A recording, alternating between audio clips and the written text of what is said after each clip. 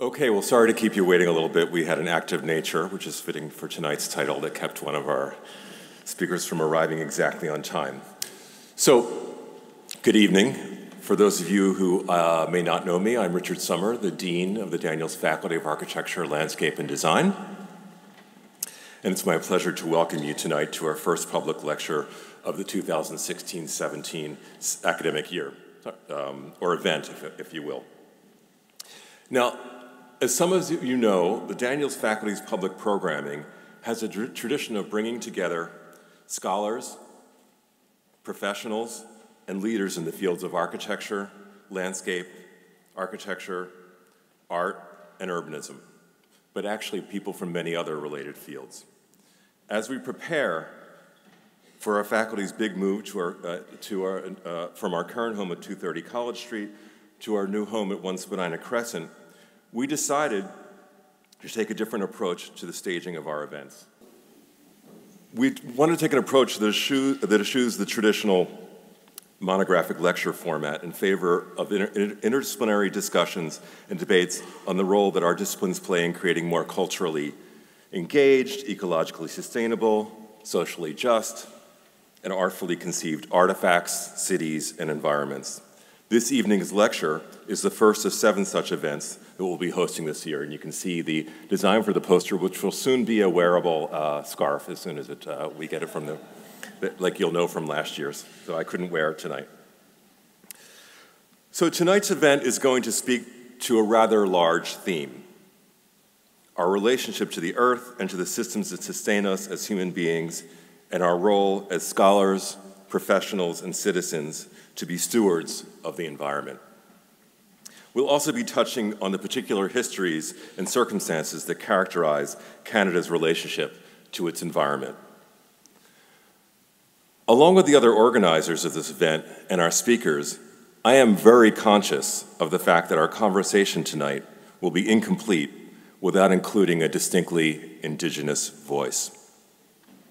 So here, in this great hall the center of the university, before introducing tonight's discussion and illustrious speakers, I wish to acknowledge that this land on which the University of Toronto operates has, for thousands of years, been the traditional land of the Huron-Wendat, the Seneca, and most recently, the Mississaugas of the Credit River. Today, this meeting place is still home to many Indigenous people from across Turtle Island, and we are grateful to have the opportunity to work on this land. Now, I have a few other critical acknowledgments to make before we can get on to uh, the, the theme tonight.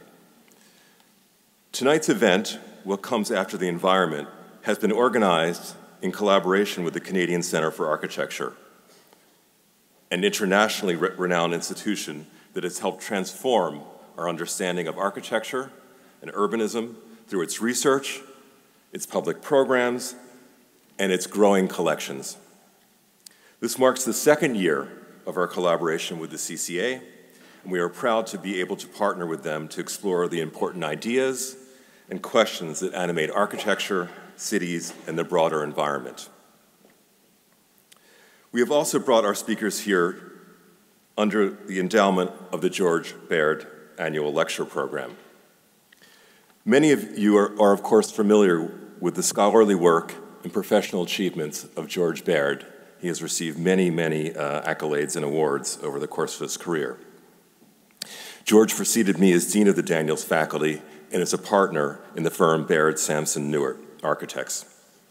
This lecture program was established in George's name in 2009 in honor of his outstanding service to the University of Toronto and the vital contributions he has made to the architecture and design community here and nationally, and I would say also internationally. So I want to say to those of you who have contributed to the establishment of, our, of, the annual lecture, on behalf of our faculty, I wish to thank you for your generosity and for making things like tonight possible. Okay, on to tonight's event. Am I echoing too much? Okay. What, can, what comes after the environment will look at the complex relationship and often privileged position that many of us have as citizens with the natural quote unquote environment.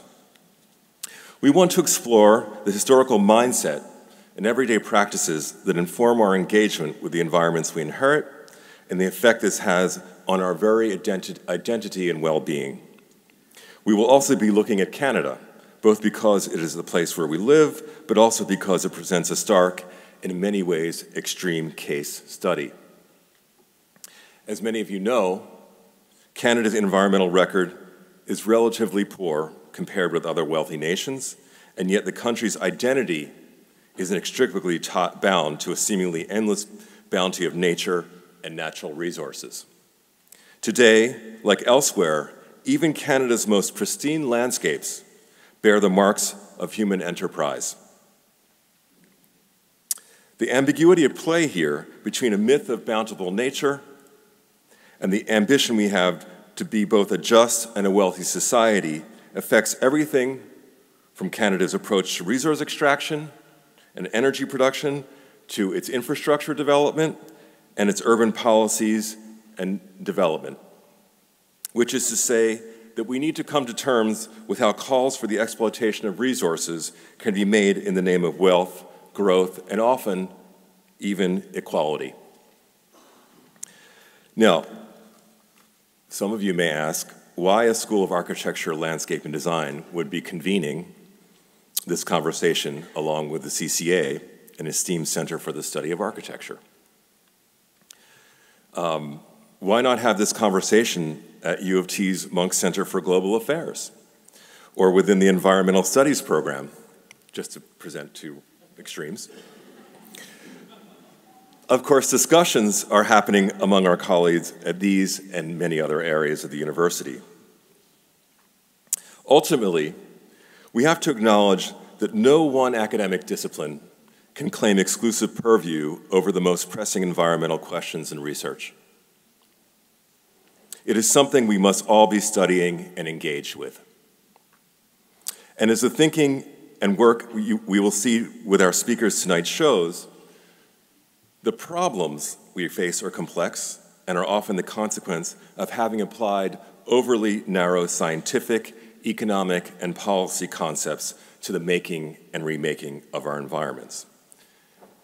It also is important to acknowledge that universities have played some role in this siloing of expertise and in the rationalization of approaches that have been detrimental to the environment. Addressing the environmental problems we face will ultimately take the joined up thinking of more than one form of expertise. This is the age we're in. We not only need to work across a number of disciplines, but as often challenge the limits and approaches of our own disciplines and link our ideas to actions. As disciplines and professional callings, architecture, landscape architecture, art, and urbanism have the capacity to see and think in a highly systemic way about how the environment works, or in fact doesn't work. And perhaps most critically, we have the capacity to imagine and plan alternate futures. So we want to sponsor these kinds of discussions and debates and ultimately engage in research that will advance thought and action on the way we manage, build, and rebuild the environment. We also uh, we also need to ask what role architects, landscape architects, urban designers, and artists have played in creating the cities and environments we have, where we've been complicit in the degradation of the environment, and where we have been agents for the right kinds of change. As we look forward to celebrating Canada's 150th anniversary in 2017, it is not only a time for reflection, but for finding ways to link our ability to imagine a better future with the forms of agency and activism that might actually materially change the course of things. I can think of, uh, of, I can think of no two better people to help us make this leap than our two guests tonight. The internationally renowned writer, filmmaker, and activist Naomi Klein, and the director of the Canadian Centre for Architecture, Mirko Zardini. Let me go back to their visage. We were so pleased when Naomi Klein accepted our invitation to participate in this event.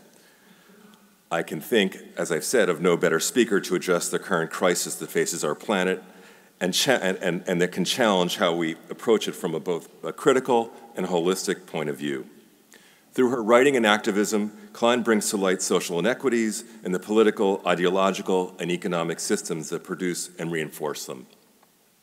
With her book, book, No Logo, she made us all aware of the way we act as consumers, what we buy, and how we use it, and how this is inevitably tied to a global system of unfair labor practices and social exploitation. In one of our events last year, entitled Uber Urbanism, held about a year ago, Jesse LeCavalier showed in great detail how the logistical architecture of Walmart transgresses many political and economic barriers.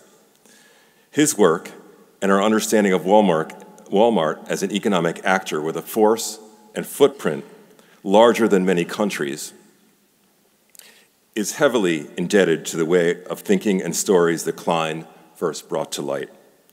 Her book, The Shock Doctrine, showed us how some, uh, and, and uh, so, so her book, the, Shock Doctrine, showed us how some of the most reactionary and exploitative political and economic forces in the world use the states of distraction and sometimes desperation that come in the wake of wars and other human and natural disasters as a cover, or in a sense, an alibi for violations of human rights and the most undemocratic of actions. And the world she is describing and taking on just keeps getting bigger. With her most recent book, which will be some of the focus of tonight, This Changes Everything Capitalism versus the Climate, Klein brings her piercing ability to connect heretofore unconnected phenomena together to have us understand the relationship between climate change, science, and capitalism. This Changes Everything won the 2014 Hilary Weston Writers Trust Prize for nonfiction and was among the New York Times 100 most notable books that same year. A documentary inspired by This Changes Everything premiered at the Toronto Film Festival in 2015 to great acclaim. This year, Klein will be awarded the prestigious Sydney Prize, Sydney Peace Prize for her activism on climate justice. Naomi is also on the board of the directors of 350.org, a global grassroots movement committed to solving our climate crisis. Now, it has often been said that Naomi Klein is among the most important leftist thinkers of our, leftist thinkers of our time. But I think it is fair to, to open that bracket a little bit more. She is among the most brave and original thinkers and publicly facing intellectuals of her generation. Our next speaker, Mirko Zardini, is very well known within our own field. As the director of the Canadian Centre for Architecture, and in his long career before that as an architect, curator, and a writer, Mirko has given much thought to the role of architecture and design in a changing world. His forthcoming book and exhibition, It's All Happening So Fast, a counter history of the modern Canadian environment, explores Canada's conflicted and conflicting views of what we call the natural environment. Mirko has addressed contemporary social, political, and environmental issues through his dedication to writing and exhibitions on architecture and urbanism, which dare and inspire us, as Metropolis magazine said when they, when they, um, uh, when they found him to be a game changer uh, in the design world in 2012. They quoted Mirko saying, or they, they, they, what they said, I'm sorry, what they said about Mirko was, he dares us to uh, be more conscious of, uh, uh, and, and um, I'm mixing this up here, this is Mirko's statement, we, he, he, wants us to be more conscious of the complexity of the problem that they're part of, instead of pretending every time to be the solution, while reducing complex social and uh, political problems to simplicities. So he is building on it, this uh, question of uh, architecture being a form of expertise that often is focused on finding solutions to opening up uh, the questions that may not have very simple solutions. Now, as you will notice in a few minutes, Mirko is Italian. To my mind, it might actually take an Italian, someone deeply steeped in a place where architecture and urbanism were, at least in the Western canon, canon, canon invented, to actually be able to say that maybe, given all that has occurred under modernity, that architecture as a field and a way of seeing the world can no longer be what it was a century ago or perhaps even a generation ago. We are clearly somewhere else, and Mirko, through the platform he has at the Canadian Centre for Architecture, is intent on exploring how architecture can become both more critical and consequential. The exhibitions, books, and public programs he has mounted speak to how much he has expanded our understanding of what architecture can do and B.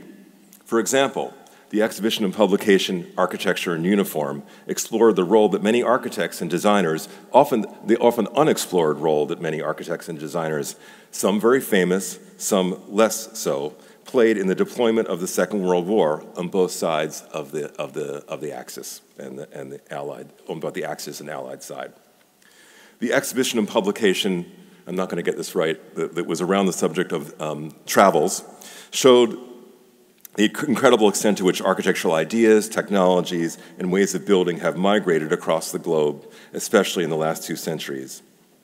One of his most recent exhibitions uh, and publications, entitled The Other Architect, explored almost a century's worth of organizations, movements, and initiatives undertaken by architects, work collectives, traveling public service buses, television shows, journals, migrating conferences, design cooperatives, um, all that in some way modeled architecture, uh, modeled alternative forms of architectural practice for the uh, and provide and this show provided a history of how architecture can have new and more penetrating, penetrating forms of impact and agency in society. So yes, architecture is about designing buildings and cities, but it is also writing, it's also uh, about creating documentaries. It's also about organizing people and political movements. And in the end, changing the way people see and understand the environment. So through his work with his colleagues at the CCA, Mirko is, in fact, one of these other architects, uh, and as, as, as his work is revealed. So I'm very thrilled to bring uh, Naomi Klein and Mirko Zardini here tonight together. Let me just talk a little bit about the format for tonight's event, and then I'm going to bring our speakers uh, one, um, one at a time to the stage. The format, the format for this evening's discussion will include two short presentations by our speakers, followed by a discussion which I will try or help moderate. Um, Professor Emeritus George Baird will join us on the stage at the end of the evening to give some concluding remarks. So let me, uh, uh, please join me in welcoming Naomi Klein to the stage, and then after Mirko.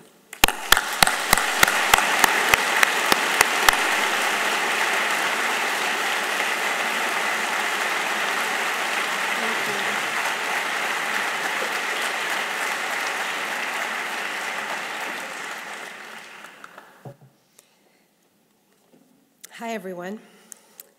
Uh, thank you, Dean Sommer, for that wonderful, generous introduction. I also want to begin by acknowledging that we gather on the territory of the Huron-Wendat and Petun First Nations, the Seneca, and most recently, the Mississaugas of the Credit River. Um, I'm very grateful to the Daniels Faculty of Architecture, Landscape and Design and the Canadian Centre for Architecture for inviting me here. Um, you heard Dean Sommer um, uh, talking about why uh, uh, uh, we're having a discussion under the auspices of a School of Architecture. Well, um, I am very grateful for this type of interdisciplinary space, and I, I believe in it very deeply. But I, um, I should mention that I have not been invited by the Munk School to take the gloves off about the extractive industries or global capitalism, but I'll let you know if that changes.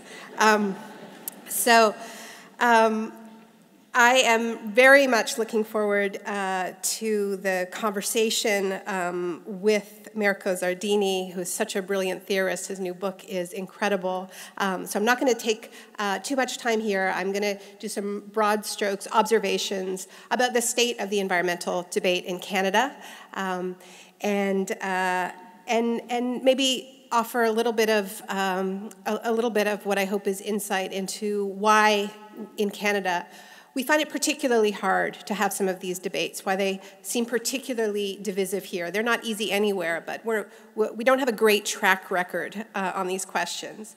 Um, we, this is an interesting time to be talking about this because, of course, a lot has changed in the past year, right? We are just uh, coming on the one year anniversary uh, since Trudeau was elected.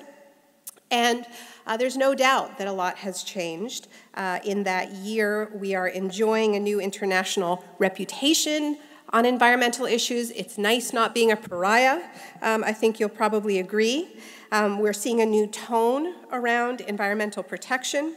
Canada signed the Paris Agreement on climate change. Um, and more than signing it, when uh, that uh, agreement was being negotiated in Paris in December um, of this year, uh, it, it was actually Canada that championed some of the strongest language that made it into the agreement, the part of the agreement uh, that says that we must endeavor to keep warming below 1.5 degrees Celsius uh, and with two degrees at the upper limit. And that was a really big fight. Uh, and Canada got a lot of love for championing that more ambitious, very important target, which for low lying Pacific islands is really the difference between whether or not they have a, a chance of survival or not. Um, there's a great deal of talk about reconciliation with First Nations at the federal and provincial levels, and these are big shifts. I know there are a lot of people interested in design in this room. They are certainly shifts in the way Canada is being aesthetically presented to the world, um, certainly shifts in symbols. But when it comes to concrete action, on lowering emissions and respecting Indigenous land rights, honoring international commitments, I'm afraid to report that we are doing significantly less well. So here are a few troubling facts to consider. On emission reduction, our new shiny government has adopted the utterly inadequate targets of the Harper government. Alberta has a climate plan under its NDP government that would allow tar sands emissions to increase by 43%, wholly incompatible with the goals of the Paris Agreement. Three weeks ago, the Trudeau government announced conditional approval for the Pacific Northwest LNG export facility, which would ship fracked gas from BC to Asia. Now, this is a massive project. It would cost uh, $11 billion to construct, and it would single handedly increase BC's greenhouse gas emissions by 8.5%, just this one project. This is not the only uh, incredibly contentious large industrial project that is being pushed through under our kinder, gentler government. There's also Site C, the Site C Dam in BC. Um, and just today, Indigenous uh, uh, uh, land protectors in Labrador were arrested today and yesterday um, as they protest the flooding of Muskrat Falls. Um, pipelines Energy East, Kinder Morgan, um, often sold to us as nation building, continue to tear our country apart. Now, these new pipelines are being resisted uh, across the country because of concerns about local impacts, particularly impacts around water. We have a very vivid reminder of what the stakes of this are going on right now in BC. Um, off of Bella Bella, there is a um, there is a oil spill going on. Um, it's not a tanker. It was a, it was um, carrying diesel fuel, uh, and uh, but these are precisely the waters that would have to be navigated for one of the proposed pipelines. Um, and this is very, very sensitive territory, incredibly important fishing and clamming grounds for the Heiltsuk people. Um, and we've also seen how incredibly unprepared our Coast Guard is for dealing with a spill like this. And in fact, it has overwhelmingly been Heiltsuk vessels that have responded to this spill to the extent that it can be responded to. So people are opposing the pipelines because of love for their waters, their coasts, their salmon. Um, but also because of the global implications, because all of these pipelines are linked to the plans to expand production in the Alberta tar sands, and that is in turn totally incompatible with the goals of the Paris Accord, with that temperature target I mentioned earlier. So I just want to unpack this a little bit to sort of ground our discussion because it's very important. And actually, what we understand about how incompatible these projects are has increased sin, even since we negotiated uh, the Paris Accord. And this is because of some new research that has come out just in the past month published by a think tank in uh, the States called Oil Change International. They published a landmark study. Um, and what they have done just to put this in perspective, is um, until this study came out, we did not know precisely how much carbon would be released if we burned all the oil and gas and coal that is in current production not the reserves, not dipping into oil and gas and coal reserves that are already counted on the books for these companies, but just the stuff that's already in production, if we drain it all, okay? So we didn't know how much carbon that represented because these were industry figures and you had to pay tens of thousands of dollars to get the figures, and no environmental group had shelled out until now, which is a little bit weird. But um, now Oil Change paid, I think it was $50,000 to a private energy consultancy that keeps these figures. Um, and they added up all of the carbon represented by all existing fossil fuel projects in production and compared it to um, let me see, just gonna just move to the, there we go, sorry. I know you don't have to look at me with much better hair in a picture.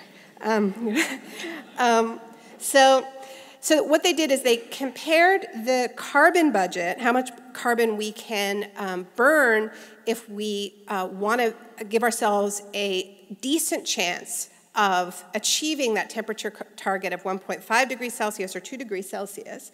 And what they, what we know, right, is that for a 2 degree carbon budget, we can burn eight, around 843 gigatons of CO2. If we want to uh, stay within a 1.5 budget, we can burn 393 gigatons. Now, when these circles here, the red circle, that is the existing projects, okay? Now, I studied literature and philosophy, but even I know that 393, the budget compatible with 1.5, is significantly smaller than 943. And if we're going to go for the upper limit, 843, that's still smaller, right? So this is without, sorry, I'm trying to point using a clicker, but it's not working. Just little, oh, there it is. Um, that's without dipping into the reserves at all, okay? Um, let alone those fossil fuel reserves that we know are there, but we haven't laid claim to yet in the form of reserves. Okay? So we are already over our carbon budget just with existing projects. So, what this effectively means is that the fossil fuel frontier, if we're serious about what we said in Paris, is closed. It's closed. No new mines, no new oil or gas fields, no new coal mines, no new pipelines that are linked to expanded production, as all of the pipelines that they're pushing in Canada are. Okay? This is a very, very big deal. Um, if any of you are familiar with Vox, the website, the sort of explainer website, they actually produced an animation today for all you design heads, a fantastic animation of this research. Um, so if you're offended by these ovals. You'll really like this design. Okay. the design students are like, this is terrible slide. Get it away from me. Okay. It's not mine. Um, so, what it means, what we have to do, rather than try to push into new fossil fuel frontiers, we need to concentrate on weaning ourselves off of the fossil fuel fields that, uh, and mines that are already in production and leaping as quickly as possible to a 100% renewable economy with the transition over by mid century. The good news is that we also have fantastic research out of Stanford University, led by Mark Jacobson and his team of engineers, saying with existing technology, this is possible to do. In fact, we could do it for electricity uh, in two to three decades. So our scientists are screaming, you have to do it. Our engineers are saying, we can do it, but our politicians are still hemming and hawing. Now, this is not equally true around the world. There are parts of the world that are wrestling with greater sincerity with the reality of our constricted carbon budget and are starting, just starting, to implement policies that are based on the hard reality that we need to leave still profitable carbon in the ground, a lot of it. So, France and Germany, for instance, uh, have national laws banning fracking now. China has placed a moratorium on new coal mines, which is a very big deal. Uh, and this is kind of most shocking of all. In the United States, the platform for the Democratic Party, which was uh, negotiated this summer with five uh, delegates from Bernie Sanders' campaign, as well as seven delegates from Hillary Clinton's campaign, came up with a document that includes a clause that says no new infrastructure can be built that significantly contributes to climate change. This is known as the Keystone Principle. Okay? So, this is the governing party of the United States putting this into their platform. Whether it is implemented, if Hillary Clinton wins, um, will, will depend on how much pressure she comes under. But the admission that there needs to be a policy in line with the science is there in the United States. Not so in Canada. Indeed, not a single one of our national political parties, of our major national political parties, acknowledges this need uh, to leave carbon in the ground and to not build new infrastructure that exacerbates climate change. And so, because of this, a group of us launched a project during the last election campaign called the LEAP Manifesto, precisely because we were not seeing these science based policies coming from the major opposition parties that we thought had the best chance of winning the election. so, um, you know, I'm not going to get too deeply into what the LEAP Manifesto is. Those of you who are interested in it can read the whole thing um, on the website, leapmanifesto.org. Um, it is essentially a short vision statement that was co authored by about 60 people uh, from very interdisciplinary fields. Uh, that is a plan for getting to 100% renewable energy while acknowledging that we live in a time of overlapping crises. That yes, climate change is a crisis, but so is institutionalized racism, so is gender exclusion, so is the crisis of our, uh, uh, uh of, our, of our mistreatment of indigenous people, and that because we live in this time of overlapping crisis, we need to craft solutions that solve multiple problems at once. We need integrated, intersectional climate solutions that radically bring down emissions but fight inequality on multiple fronts.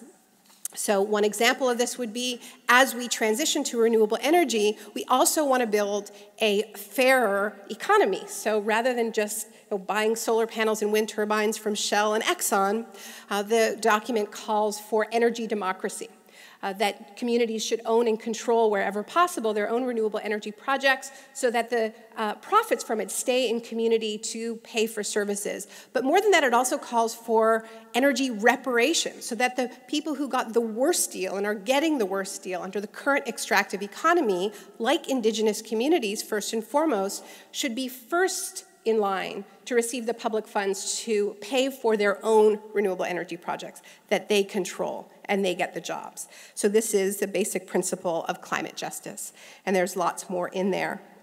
So, we launched this, and on a grassroots level, the response to the document was pretty incredible. 200 organizations signed on, from Black Lives Matter, Toronto, to Greenpeace, to Oxfam, to some of the largest trade unions in the country, to the head of the Canadian Labour Congress. And this is very rare to have a document like this where you can bring together climate and labor and Indigenous rights in this way.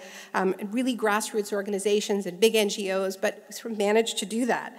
We also um, were thrilled when national icons like Gord Downie, Leonard Cohen, Yann Martel, Neil Young put their names to it before we launched it. Um, and then came the response from our political establishment, um, which, let's just say, was a little bit less enthusiastic. Brian Mulroney came out of retirement to declare the LEAP a new philosophy of economic nihilism that must be resisted and defeated. Um, BC Premier Christy Clark proclaimed that if the LEAP were adopted, hundreds of towns would be wiped off the map tomorrow and turned into ghost towns. Saskatchewan Premier Brad Wall told a gathering of oil executives that the LEAP was an existential threat to his province. The Alberta's NDP Environment Minister called it a betrayal. The Globe and Mail editorial board called our, our call for a Canada based on caring for the earth and one another madness. Happily, none of this seems to have had much of an impact.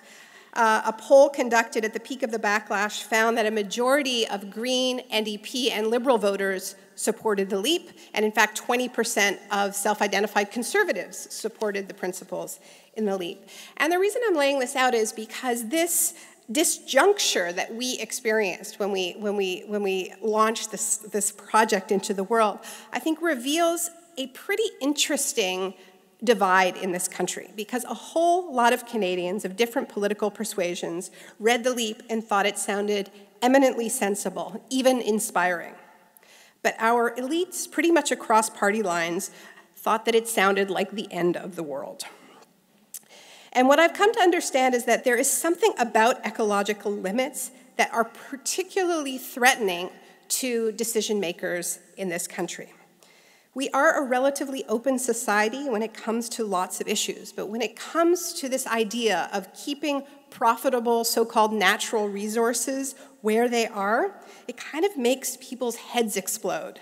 And there is a whole lot that more that is unsayable and kind of unthinkable in our country than even in the United States. So, why is that? There are many factors, of course the need for jobs in an economic downturn, the power of the fossil fuel lobby, and the banks that finance them, to name a couple. We also have a highly concentrated media environment, um, very entangled with those same sectors, but we aren't the only country contending with these types of forces. So I think all of this contributes. But I also think that there's something deeper at play, something that brings us back to the founding narratives of this nation, which I think are really important for us to think about in this 150th year. The stories that are told about how we came to be a country. And that story begins with the arrival of European explorers at a time when their home nations had themselves slammed into hard ecological limits, when they had already felled their great forests and hunted their big game to extinction. Um, we're dealing with overcrowding and hitting up against that wall. And suddenly they come to the so called New World and think they have hit the mother lode. Um, this place was imagined as a sort of a spare continent to be used for parts. And what parts? Here seem to be a bottomless treasure trove of fish, fowl, fur, giant trees, and later metals and fossil fuels. Now, this was also true of the United States, but here in Canada, these riches covered a territory so vast and go, stretching so far north that it seemed impossible to fathom its boundaries. Again and again, in the early accounts of European explorers, you hear these words inexhaustible, infinite, to describe old growth forests, beavers, great auks, and of course, cod. So many they stayed the passage of John Cabot's ships, in the words of one of the accounts. So from the start, Canada was conceived as a place of endlessness when it came to nature, a wilderness of such bounty that the very idea of ecological limits seemed to Europeans to be gone for good, that their problems were solved. This was a place that could never run out, never be exhausted, except, of course, that's not how it worked out. Now, the US, uh, early US economy was profoundly extractive too, of course. The southern slave economy was based on the brutal extraction of forced human labor used to clear and cultivate the land to feed the rapidly industrializing North. And the Canadian economy was deeply enmeshed and implicated in the slave economy, not just because there were slaves in Canada, even though this is often erased from history, but because much of the cod that was caught off of Newfoundland went to the southern plantations and to the Caribbean as a cheap source of protein for slaves. So these economies were deeply enmeshed. But what sets Canada's early economy apart, I would argue, from our hemispheric neighbors is the sheer dependence on voraciously devouring the wild. Those wild animals, the fish, the trees, the fur, um, and later metals and fossil fuels. Canada was an extractive company, the Hudson's Bay Company, before it was a country. And this has shaped us, shaped our collective imaginations in ways I believe we have yet to begin to confront. Because such enormous fortunes have been built purely on the extraction of the wild, our economic elites have grown accustomed to seeing the natural world as their God given larder. So when someone or something like climate science comes along and says, actually, there are limits, we have to take less from the earth, we need to keep more of the profits for the public good, it doesn't feel like a difficult truth. It feels like an existential attack.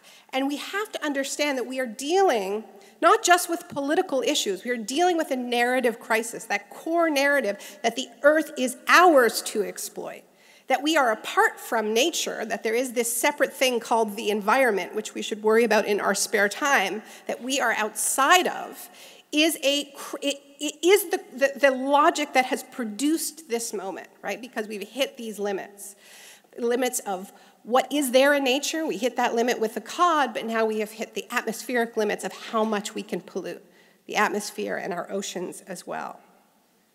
So, Canada's extreme dependence on exporting raw natural resources has made this country intensely vulnerable to monopolies, as well as to various kinds of external economic shocks.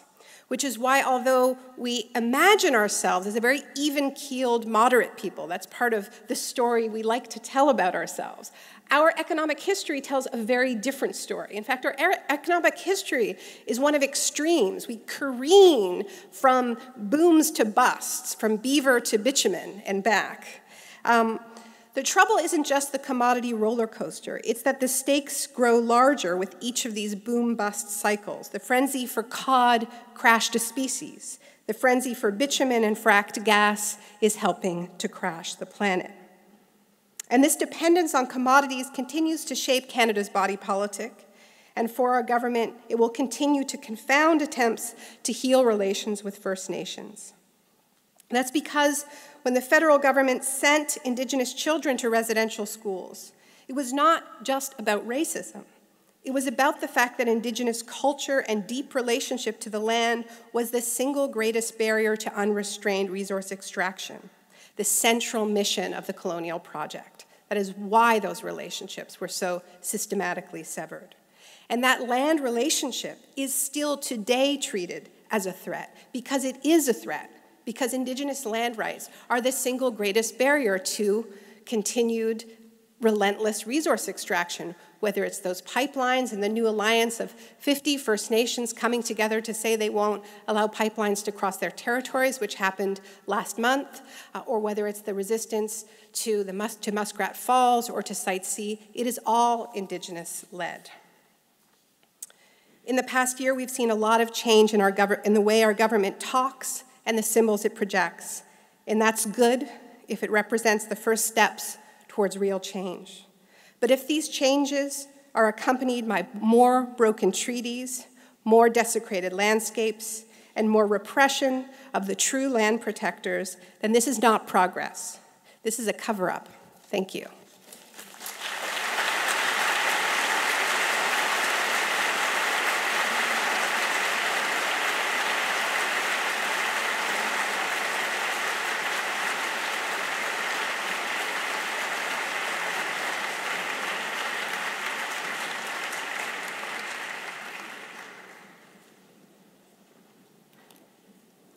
So thank you very much for the invitation. Thank you, Richard, for a nice presentation.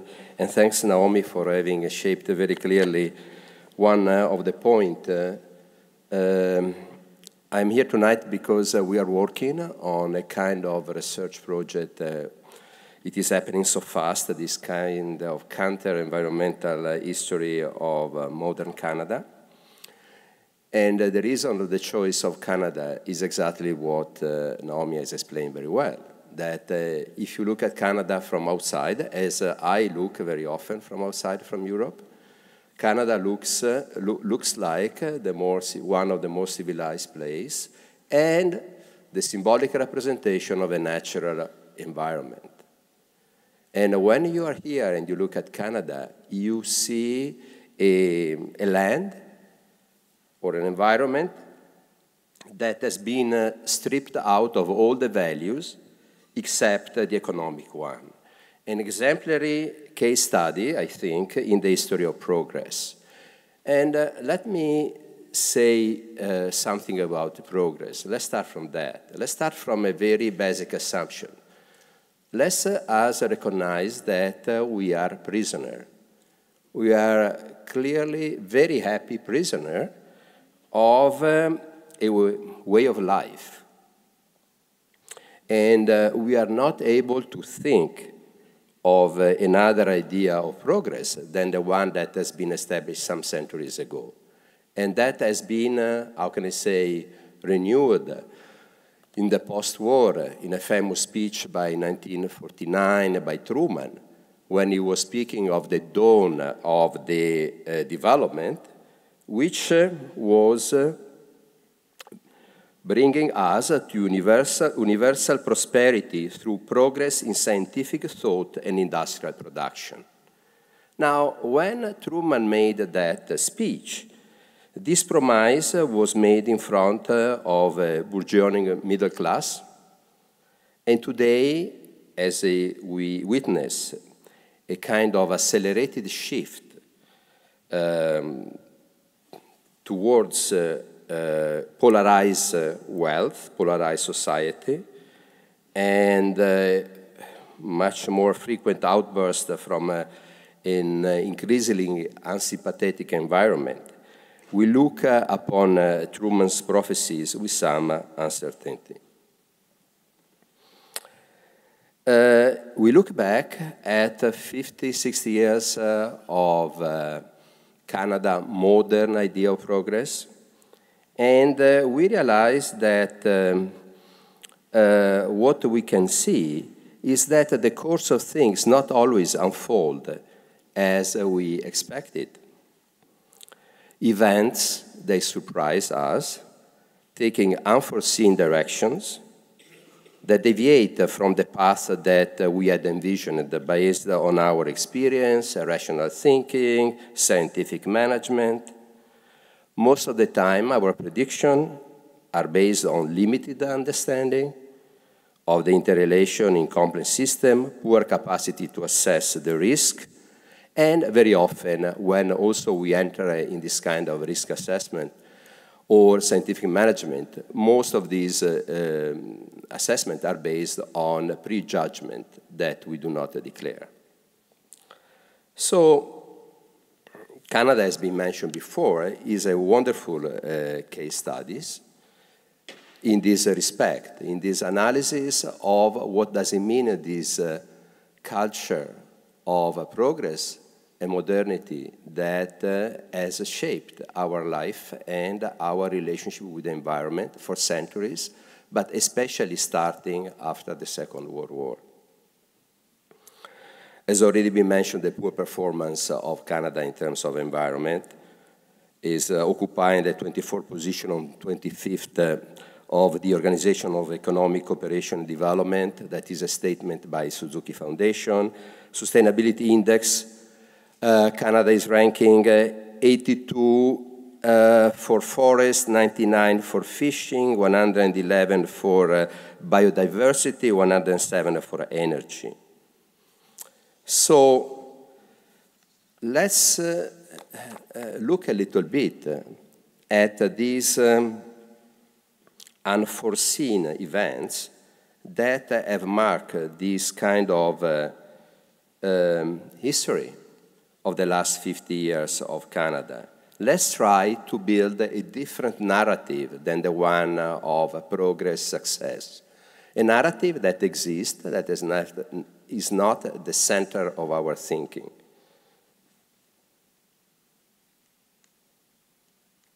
Let's start uh, from uh, what could be considered the kind of a symbol of the uh, modern uh, idea of progress. 1952, uh, the NRX nuclear reactor in Chalk River in Ontario experienced a power surge resulting from mechanical defects and operation errors. There was a, a it was the first reactor worldwide to undergo a partial meltdown. And uh, the fission products flooded into the basement. The area has been dangerously contaminated. The reactor was closed in 1992. 1946, since 1946, uh, the US Air Force has been thinking of a defensive line of radar station in the north from Alaska to Iceland. That has been materialized uh, in, uh, in the end of the, six, the 50s in the so-called Project 572, then called the Distant Early Warning Dew Line. 42 of these stations were in uh, Canada. And uh, starting 1980, uh, sorry, 1996, we have uh, a process of uh, cleaning and restoration of a ground that has been heavily contaminated by PCBCs, by inorganic compounds, asbestos, lead, mercury. All these sacks that you see here are ready for a, a flight uh, to bring down to the south. Uh, 1958, uh, Manley Natland submitted a proposal for the Research Council of Alberta to use the nuclear bomb to um, in the Athabasca tar sand in order to produce and extract bitumen in a fluid, in a, a, in a, a through a when it was uh, uh, heated in a, through conventional drilling. Pony Creek, that is uh, 97 kilometers south uh, of uh, Fort McMurray, was chosen as a test case. And uh, this project was approved by the US Congress Atomic Energy Commission, Mines Branch of the Atomic Energy of Canada, Defense Research Board in Ottawa, and the province of Alberta. It was a bomb that had to explode at, under, at the uh, quote of 300, minus 381 meters. This uh, project didn't take place only because Prime Minister John Diefenbaker terminated the project in 62, not for any risk assessment, but simply because the mounting anti-nuclear public pressure in respect to this kind of project. 1962, Grassy Narrows, in between 62 and 1970s, a paper mill leaked an estimated 9,000 kilos of mercury into the English and Wabigoon River system. Now, the, in 1976, uh, nearly half of uh, the indigenous population, the First Nation communities uh, living uh, in that region, were classified neur neurologically abnormal due to the damage to the nervous system. And a kind of disability fund was established in 1986. 68, the Grand Banks of, uh, of uh, Newfoundland's coast accounted at that time for 46% of total available cod and 21% of all ground fish quotas worldwide. Till the 60s, the annual catch was in between 200,000 and 300,000. 68, uh, it increased at uh, 100, uh, 810,000 tons. Um, there was a moratorium, originally instated for two years, extended uh, indefinite, in forever. Uh, the moratorium claimed 40,000 jobs across Canada. Several billions of dollars uh, were uh, um, offered in relief packages and were distributed among the affected population. 1972, Inco Superstack, Sudbury, one of the world's richest nickel deposit. It was so devastated by smelting emission that in the 60s NASA was using the town as a lunar testing grounds for astronauts. 1972, there was the opening of this super stack, 381 meters, in an effort to displace the negative effects of emission beyond the Sudbury area.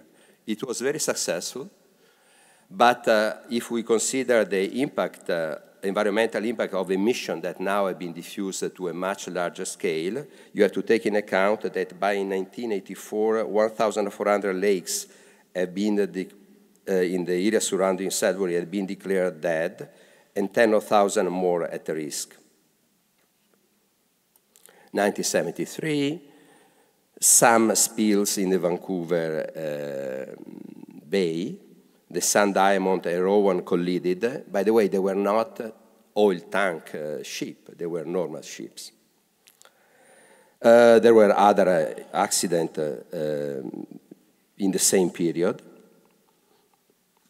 And uh, there is also there has been also a recent one in April 2015 with uh, 2,700 liters of uh, fuel in English Bay. Kinder Morgan proposed a Trans-Mountain pipeline expansion would nearly triple the volume of diluted Alberta bitumen being pumped uh, to Vancouver coastline and cause a seven-fold increase in tanker traffic in waters of southern BC. 1974, uh, we have the creation of a kind of Berger Commission. Um, starting in the 80s, after the political uh, crisis created by the oil embargo in 1973, um, the over 100 holes had been drilled in the Mackenzie Delta area. In 74, there was uh, a request for a, pipeline to transport oil south through 1,200 kilometers. Uh, the government uh, established uh, uh, this time, uh, before any other action to be taking place, a, a committee chaired by Justice Thomas Berger, and uh, who conducted a, a, revolutionary study of the social, environmental, economic impact of such a, a pipeline with interview on site with all the different indigenous population, with audit uh, to the different business component. In 77, he recommended uh, to uh, postpone the, any intervention as long as the land reclamation by the indigenous population were not set, as long as uh, indigenous economies and renewable sources sector had been strengthened. Now, National Energy Board issued a certificate of public convenience and necessity for the Mackenzie Valley Pipeline in March 2011. The reason that nothing is there is because natural gas market conditions render that uh, not necessary for the moment. Contrary to the uh, Berger Committee, in 1970, starting 71, Hydro-Quebec announced the com commencement of the James Bay project. Construction broke ground on Cree and Inuit First Nation land without any warning, consultation, or permission. There was a series of uh, legal proceedings ending in a kind of establishment for the 1975 Land Claim Settlement Treaty. At that time, this was uh, the largest hydroelectric generating system in the world, and uh, it flooded more than uh, 30,000 square kilometers, damming, dam, with a dam built on nine rivers.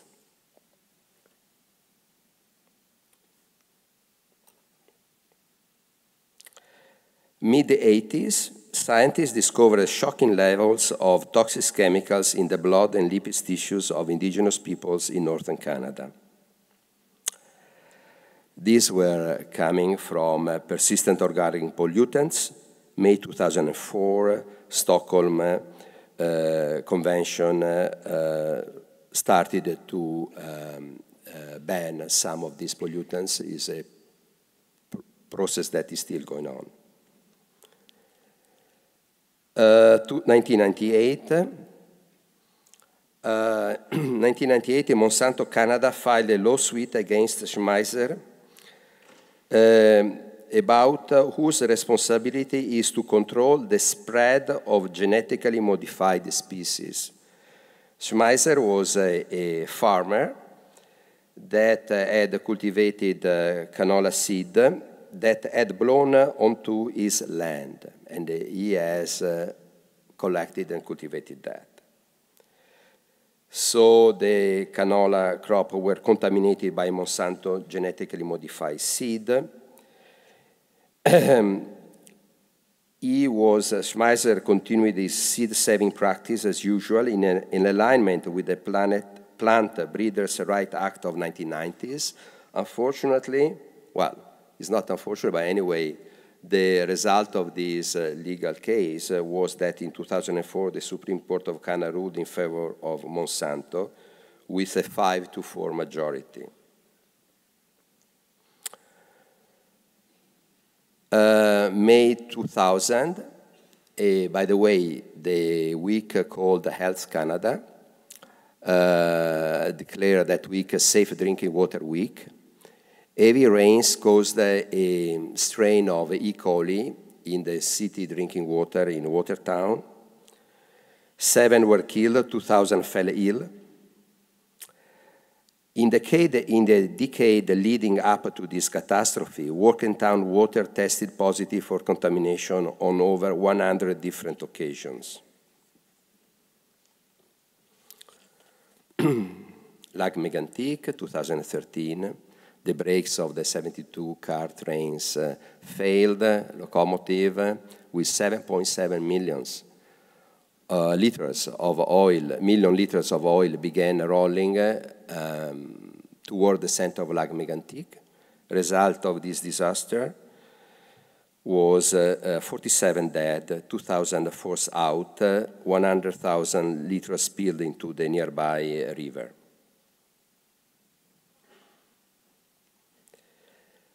Mount Polley, 2013, August 14, mm, the, the, the, the tailings pond of a copper and gold mine in central British Columbia began leaking into Polley Lake, flooding both the lake and the connecting uh, uh, creek, the Queensland Lake and Caribou Creek.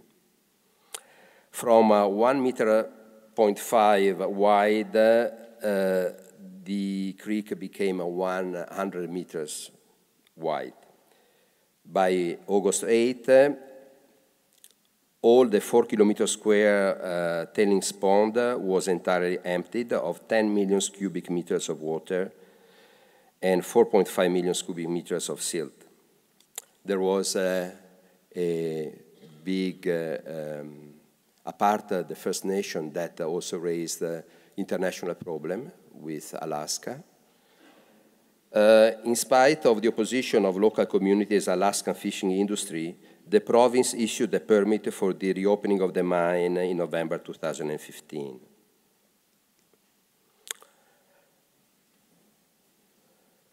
In the past decades, 23 cubic kilometers of water have been injected into Western Canada, Canada sedimentary basin through fracking the high pressure injection of water send chemicals to depths of over 1,000 meters underground in order to break rock formation and free stores of natural gas.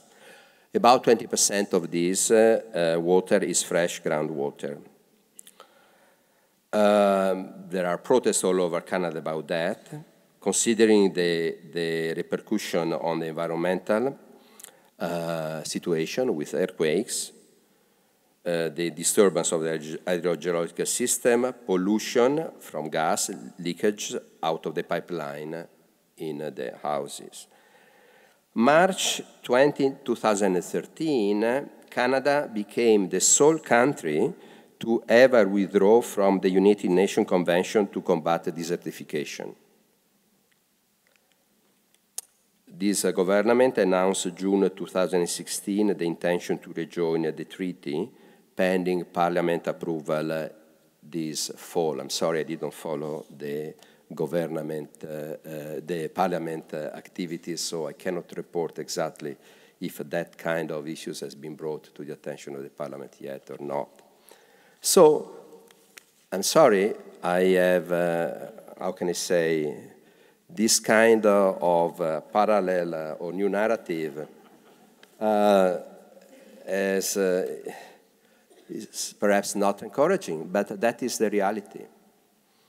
And this is a, a, a poster, one of the posters by Douglas Coupland that has been uh, working on some of these kind of things. is also part of this uh, project that we are doing. So if you look back at this kind of idea of a modern project in which, uh, a modern idea of progress in which we are still part, clearly we have uh, to rethink that we have to start to rethink not only from a political point of view, but from a cultural point of view, and from a lot of different point of views. This uh, appurtenance, this belongs that we have to this kind of a project. This, um, uh, you know, let's take architecture. Architects today, they try to justify their social role trying to um, fight for the good causes. And I hope that environment will be a good cause for the architects too. But, uh, you know, good intention, they are never enough. If we address these issues with the same tools, the same thinking, the same perspective than 50, 60 years ago, the same frames that brought us to this kind of result, I don't think that we'll find any, any solution. So I really would, uh, I think that is necessary on our side. A change uh, of thinking, a change of culture, a change of attitude, a change of scale in addressing this problem. Uh, Suzuki, uh, David Suzuki, the kind of famous Canadian uh, environmentalist, um, in an interview just for this kind of uh research, stated that, environmentalism has failed because environmentalists produce, and First Nation, indigenous population fights, produce a lot of local victories and if you look at that now, you see that these victories now they are not anymore there. You have to start again. So there is a necessity of a change of strategy and scale in addressing these kind of issues. And um, the um, hope that I have is that uh, uh, we are able to um, address this idea of after the environment. My interpretation of that is that after the environment is that environment is a, a too big problem to be left to the environment that has to be addressed from a lot of different point of views and uh, political, social, economic, but also in our discipline. And that is the reason that uh, I, I think that we, I hope that they will be developed uh, in the, further in the discussion. So thank you very much.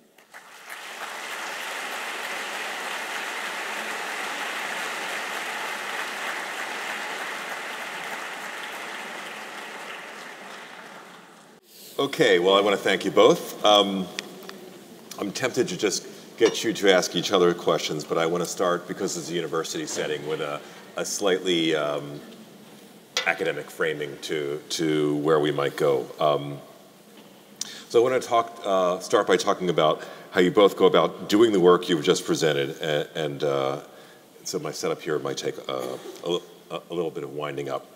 So I essentially want to ask you how you link research uh, to consciousness raising, but also ultimately how you go about, at least in Naomi's case, um, weaving facts into stories and stories uh, to inspire political movements. But you both present, uh, you both start your work by documenting a great diversity of places, events, and people. In many cases, let the people and events bear witness.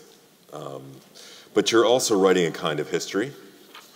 And we know that in writing or rewriting history, we can, we can change the course uh, of the present by revealing the consequences of one set of human decisions or actions over another. But we also know that the, our ability to account for and reconstruct history is always provisional and incomplete. So that, that's a little bit where I want to start. With Naomi, your, your approach, at least in the book, but elsewhere, is almost encyclopedic. You go back to the scientific revolution of the 17th century, to the origins of the industrial model that created um, a mass system of resource extraction, but you also concentrate on the last 30 years since the, um, the concept of climate change was first really brought to light uh, um, uh, it, it, politically and, uh, and in scientific discourse. At the same time, in your book and in the documentary, you're almost bearing witness to events in real time. So there are these three time scales in what you're doing. Uh, there's, there's, there's the longer history of the scientific, scientific revolution. There's the time when we became aware of something as climate change, uh, and then you're operating in real time, almost bearing witness to you know the Athabasca, the Athabasca tar sands, Hurricane Sandy, a whole series of things. So this is a funny question then. So reflecting on the larger project of the book in particular.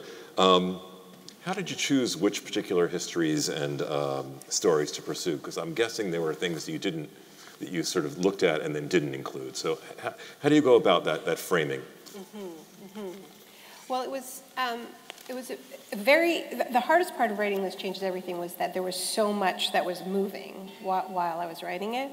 Um, I mean, and that was quite different from my previous book, The Shock Doctrine, where um, you know, about 80% of it was just, you know, was staying put, like it had happened, and it was, eh, whereas um, with this changes everything was every part of it was moving, whether it was the climate science, which was you know constantly evolving, um, or or the impacts of climate change, or the resistance to it, um, and, uh, and, and so I'm a bit of a research addict, so I mean, there, there's always this problem of like, where do you draw the line and go, okay, now I'm writing, I'm not just researching, um, and and that was that was quite difficult to do. Um, you know, I try to. I mean, I, I you know, I I'm I don't just research. Uh, you know, from home and books, I do that, you know, you know, but I also report and go to places, and it's very important for me to have those experiences to sort of really um, feel it and, and learn from people who are directly impacted. And I come to this topic as a journalist, you know, I'm, that's my background. And, um, and, and yet, uh, you know, I think with each book I've written, I've, in part because there's more and more scrutiny on them, um, I, I, I, I, do more to defend you know myself and and there's you know 60 pages of endnotes you know for this and we set up a uh, kind of a, an ad hoc peer review process for this changes everything you know where um, you know, I'm not an academic, but some really, really top-notch academics reviewed the relevant material from James Hansen, you know, probably the most respected climate scientist in the world, Michael Mann. Um, we had a fantastic group of climate scientists vetting all the science, another group of social scientists who specialize in climate research, looking at those relevant chapters, trade experts. I have a fantastic researcher named Rajiv Sicora who set all of this up um, and uh, you know, we try to make ourselves as, as bulletproof as we can, knowing that this is a really radical thesis. And my sort of philosophy around research is not to go out on a limb on any one fact or any one stat. I really am very, very conservative about the facts because the argument itself is radical.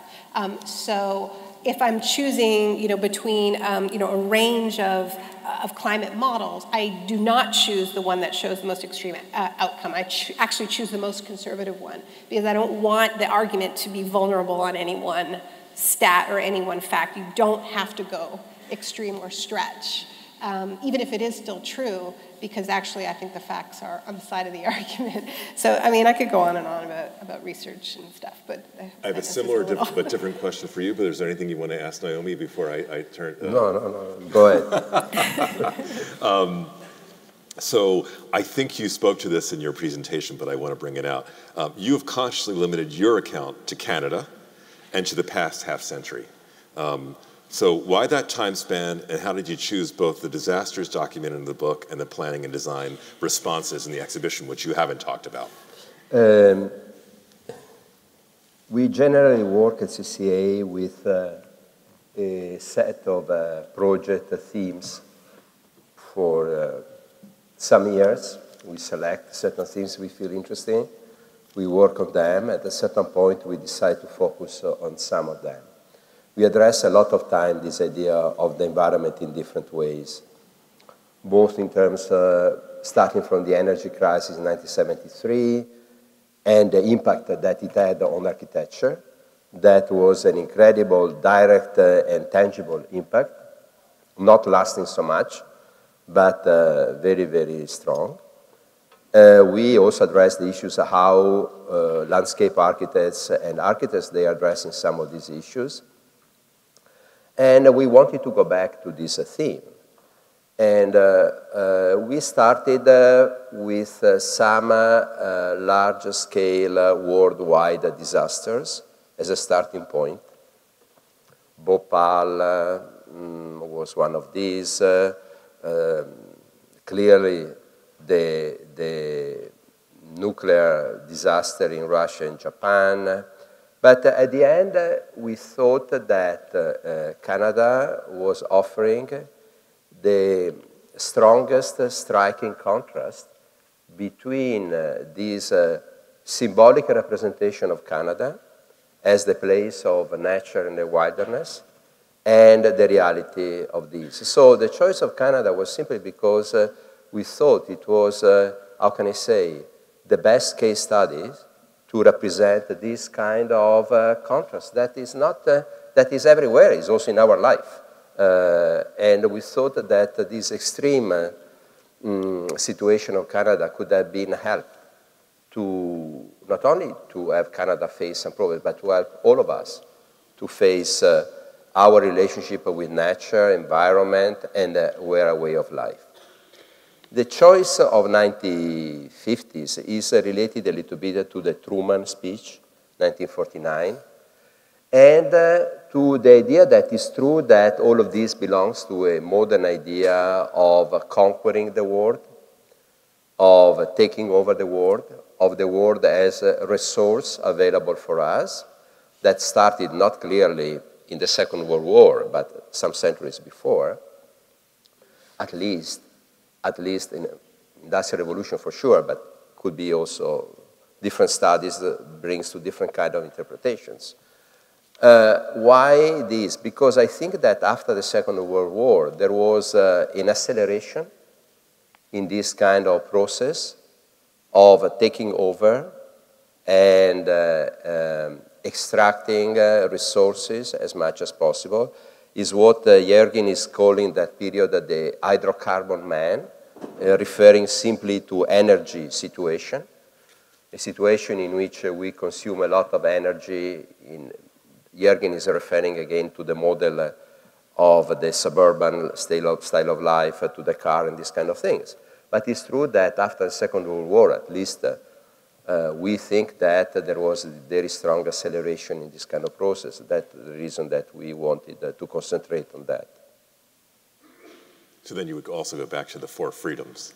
Pardon? Uh, there's, during the Cold War, there were the four freedoms from. Yes, Cold War is also um, there. So, well, there's a number of different directions we could uh, go in now, but uh, you, you go go ahead. well, you know, just thinking about more about your question about how, you know how one sets a time frame, mm-hmm. it certainly changed on me. I mean, my, my plan when I started but the, the, books always expand. I always say to my publisher, this is going to be a short book. It's going to be like really, really, you know, compact, and, and then they, and then you know, research changes. You discover things as you're writing. That's certainly what happened with me with the shock doctrine. It started off as a book that was going to be about Iraq, and and you know, then there was this sort of process of pattern recognition where the same. Um, you know, the same tactics that were used after Iraq started to happen after natural disasters. The same companies, you know, Blackwater, Bechtel would come in after, you know, Hurricane Katrina, right? Um, but in this book, it was really, it started off being more about the clash between climate action and the neoliberal project, and this sort of unfortunate case of bad timing of, you know, of, of, of the, the, the, first intergovernmental meeting on climate change happens in Toronto in 1988, um, and the year after the Berlin Wall collapses, and Francis Fukuyama declares the end of history, and this sort of single model of you know, what Stiglitz calls free market fundamentalism spreads around the world, and what that means in terms of um, the possibility of regulating multinationals, the possibility of introducing genuine polluter pays um, you know, models for how we're going to deal with this crisis evaporates, right? Um, and we simultaneously globalize the most wasteful model of consumption and export it to incredibly, you know, populous nations, so our emissions soar. So this is, so it started off sort of more compact. I knew I wanted to have a chapter on geoengineering, and I think geoengineering is a really relevant. I mean, certainly when I look at Mirko's slides and go through this like horror show memory lane, right? I mean, this is the kind of thing that makes me very skeptical of geoengineering, right? Um, you know, as somebody who I've covered these disasters. You know, I was in you know Louisiana during the Deepwater Horizon disaster, and you know, I you know, but not just those types of disasters. You know, the financial crisis of 2007. You know, the smartest guys in the room get get it wrong a lot. You know, that's been part of my journalistic experience is seeing that up close. And then to realize that there are serious proposals out there to spray sulfur into the stratosphere and try to dim the sun, um, because that seems like a more realistic idea than getting everyone to put up solar panels, you know. Um, you know, my concern is I think they'll screw up, you know, and I think you you know, your research. the record's clear enough. but, um, but, you know, what was in, what, what, brought me to the scientific revolution and going that far back is that I discovered is that, um, that, the, that the, the, some of the most um, muscular championing of geoengineering was coming from the Royal Society in England, that they had you know, published those papers, they were holding these, these forums, they let me into one of them, you know, and so I just started thinking about the whole history of the Royal Society and Francis Bacon and Joseph Banks, and you know, it put geoengineering in this narrative of the, the conquest of nature, the separation from nature, so that seemed like you know, a natural place to go, but I had absolutely no intention of doing that when I started. And of course, they're the, the, the, the most, uh, uh, let's say, col- uh, colonializing force uh, uh, that, that, came to Canada and, and, the United States. Yes, Cook and, Cook and Banks. So, so um, well, I, actually, I, I, I, want to I want to stick here for a second, but I want to come back to this what you were starting to bring up, which is this kind of weird mirror between the, at least the, the United States and, and, Canada around around the kind of timing and politics and characterization of the of, um, of the environment. Uh, in, in, the United States, it's really about uh, exceptionalism, right? Uh, this, the, the, I'm not a, uh, I, I, don't pretend to be competent about United States and Canada.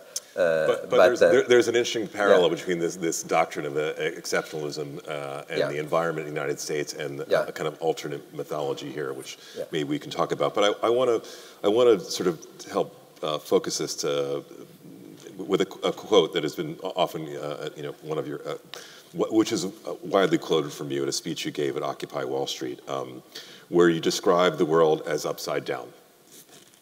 Where we, uh, where you say we, uh, and quote, there is no end to what is actually finite, fossil fuels in the atmospheric space to absorb their emissions, and as if there are limits to what is actually bountiful, which are the financial resources to build the kind of society we need.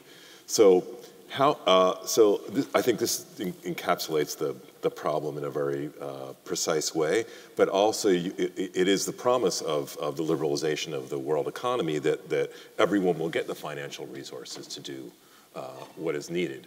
But what you're arguing is that this assumes in relation to the environment that uh, this technological project can continue, right? Mm-hmm. Mm-hmm. Yeah.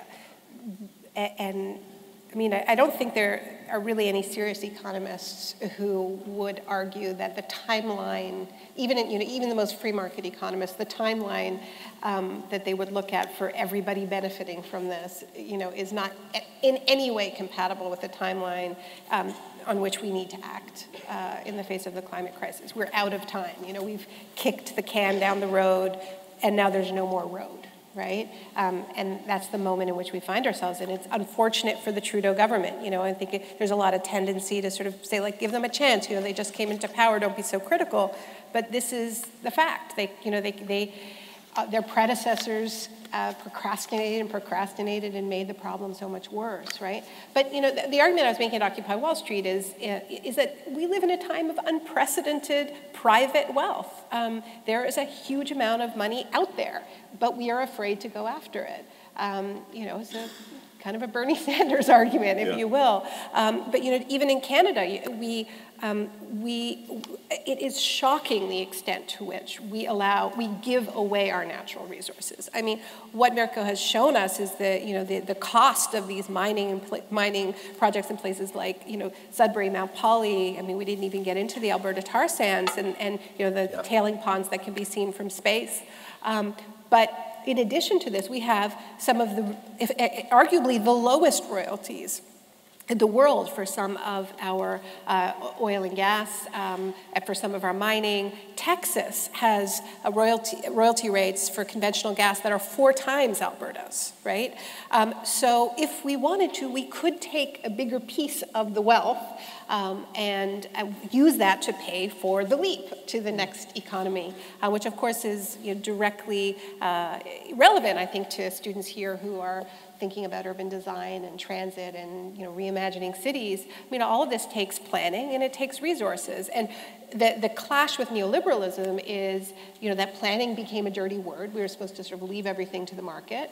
Um, and, at the, and, and, and all the things that governments do to raise revenue to pay for you know, big projects, and these are big projects when we're talking about reimagining energy, reimagining transit, um, that all of those became sort of um, you know, off the agenda, which is why we have cap and trade instead of a serious carbon tax and so on.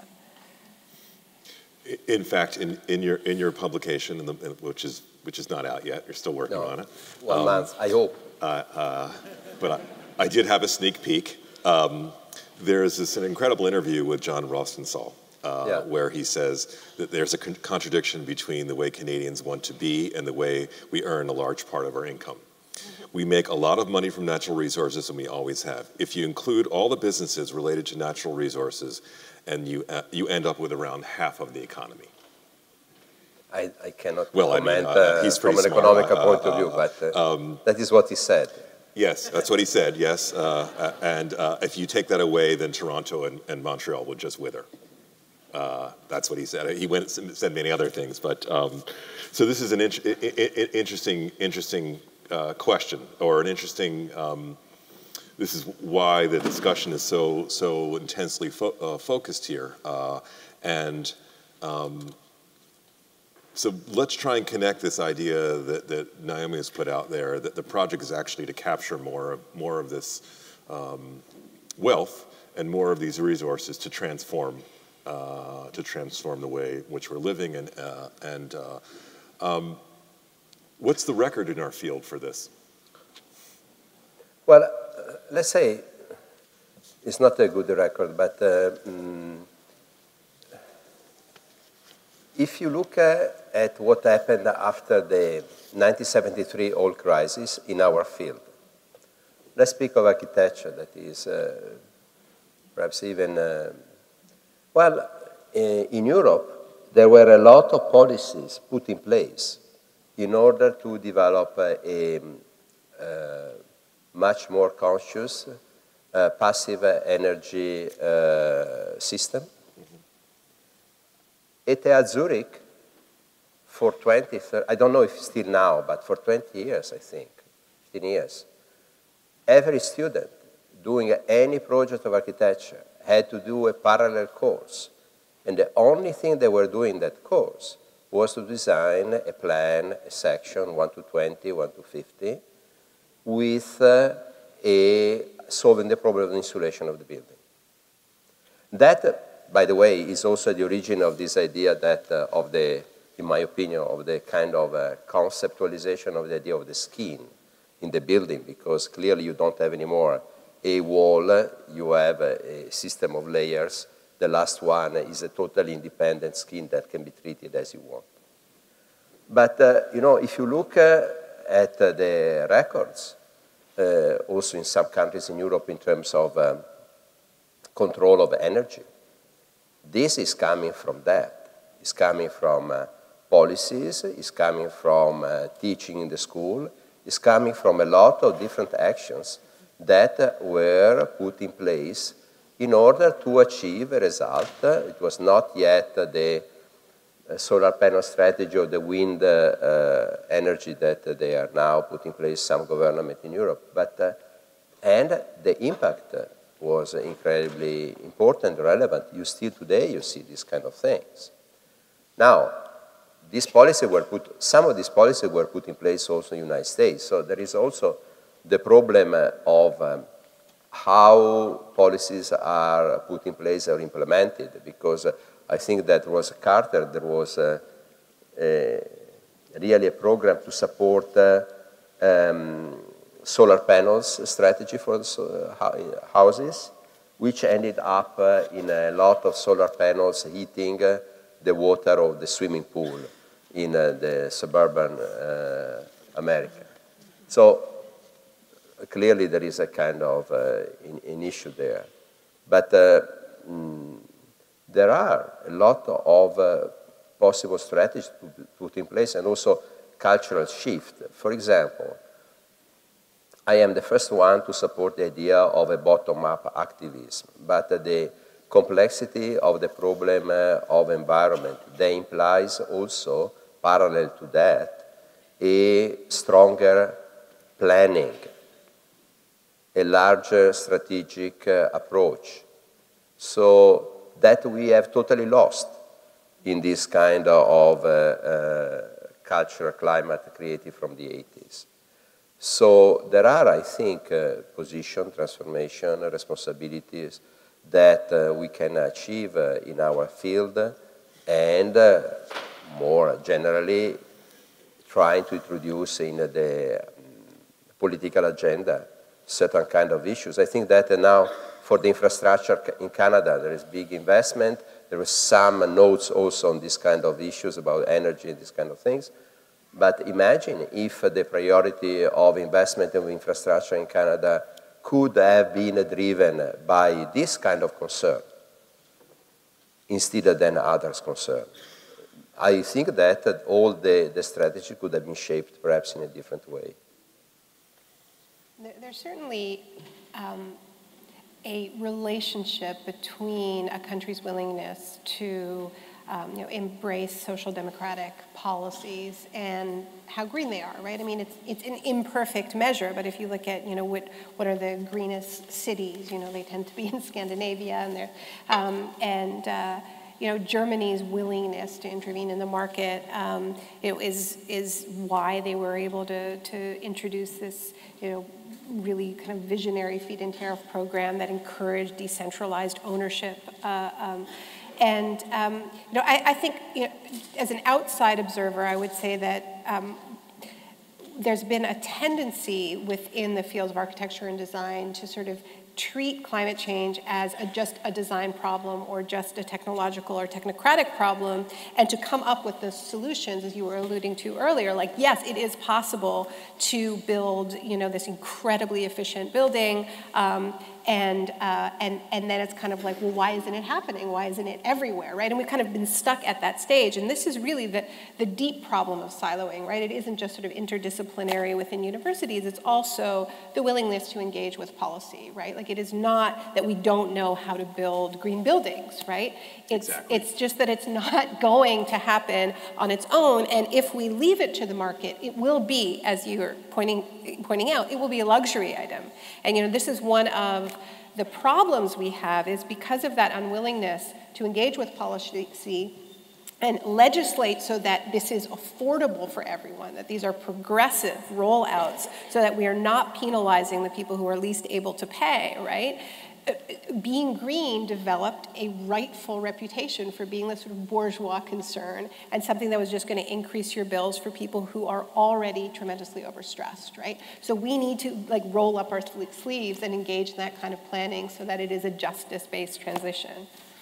I, I just want to give an anecdote which supports what you're saying. I'm looking out into the audience and seeing uh, a number of prominent architects in the city, and we had a uh, uh, a kerfuffle or debate in the faculty a number of years ago when we had um, an architect from Chicago who built, uh, Jeanne Gang, who built the uh, Aqua Tower, came and she was working on a number of projects that um, were sustainable in nature, but um, and that project, the skyscraper, had gotten a lot of attention, but it wasn't particularly high performing. Uh, and like a lot of uh, Tor- Toronto's condominiums, it, uh, it did not have a skin that performed well in the way you're describing that the Swiss might build it. Right. Let me just let me just finish. So so uh, so this architect uh, at the at the at the Sperring, one of our faculty members, was was was was attacked by the architecture critic of the Globe and Mail. And my response to this was, well, she was attacked in the arts, arts and culture page, and I said, actually, this is not an arts and, culture page issue because every architect I know actually knows how to design a condominium building with a high performing uh, uh, skin. And it's not just about the skin, it's about all the systems. And in fact, some of our commercial office buildings are being designed to that standard because they are built with a different financial model where the costs are amortized over a longer period of time. And what the architects and actually even the developers would, would tell you is, well, if the, if, the, if the playing field was leveled and they were required by policy to, to build in this way, uh, they would be building in this way. Uh, but if, if, if, if the person they're competing with doesn't have to build the building that way, they're not going to either. So it cannot come from the market. No, uh, you heard it here first. No, but let's say, no, I wanted to say about the, the uh, zero emission building. Uh, That's only one, one No, say there is one problem here that, you know, I saw some uh, zero emission building with the parking lot or a parking garage. uh, you know, uh, there is a problem uh, here. Or, you know, also the evaluation of performance in terms of buildings in energetic performance is a very, what can you say, you can get the platinum or the gold, uh, but is a very often, sometimes is more uh, on the paper. You know, it's enough to have solar panels, but if the light is not arriving on the solar panels, nobody is going there to check if the light, uh, the solar panel is placed properly or not. So I feel that is really, there are a lot of things, but uh, they have to be in a certain way uh, put in place uh, in a more uh, coordinated uh, way. That means that you need a shared culture in order to operate in this direction. Uh, also, it's not only a problem of regulation, it's a problem to building a different cultures in order to move in this direction. Maybe we need like an architecture leap subgroup. Okay.